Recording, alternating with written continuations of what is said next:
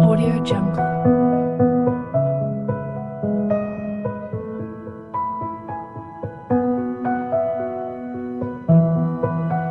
Audio Jungle.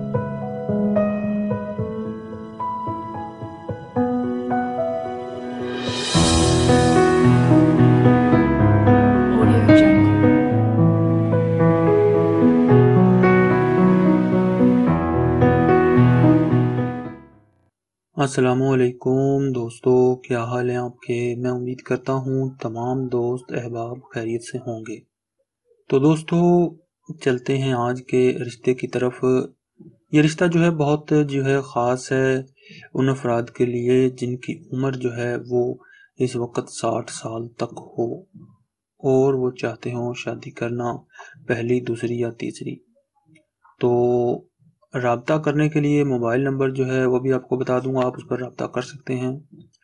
Direct اگر ہمارے through رابطہ کرنا چاہیں گے تو آپ ویڈیو کے نیچے کمنٹ باکس میں اپنی تمام تر تفصیلات لکھ دیں، ہم آپ سے رابطہ خود بھی کر لیں گے۔ تو دوستو، سب سے پہلے تو میں آپ کو بتا دوں کہ برائے مہربانی وہی لوگ رابطہ کریں جو شادی کے معاملے میں بالکل سیریس ہوں اور واقعی شادی کرنا چاہتے ہیں اس کے علاوہ تو جو ہے ٹائم ویسٹ جو ہے اپنا بھی نہ کریں اور دوسروں کا بھی ٹائم ویسٹ نہ کریں۔ تو چلتے ہیں آج کے رشتے کی طرف۔ دوستو، یہ جو خاتون ہے جن کا رشتہ میں ابھی آپ کو بتانے جا رہا ہوں، ان کی عمر جو ہے وہ چھیالیس سال ہے۔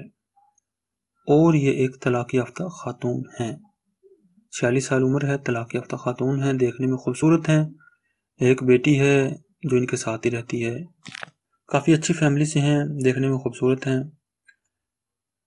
تو ابھی جو ہے تقریباً کافی عرصہ ہو گیا ہے شوہر سے علیحدہ ہوئے۔ اس وقت یہ پاکستان کے سٹی لاہور میں رہتی ہیں اور کافی امیر فیملی سے ہیں، دیکھنے میں خوبصورت ہیں۔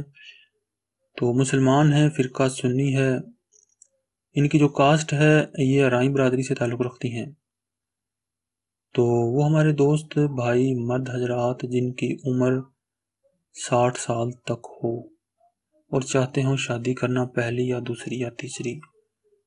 تو اگر وہ اس فیملی سے رابطہ کرنا چاہتے ہوں، تو میں نے موبائل نمبر جو ہے ویڈیو میں آپ نے دیکھ لیا ہوگا۔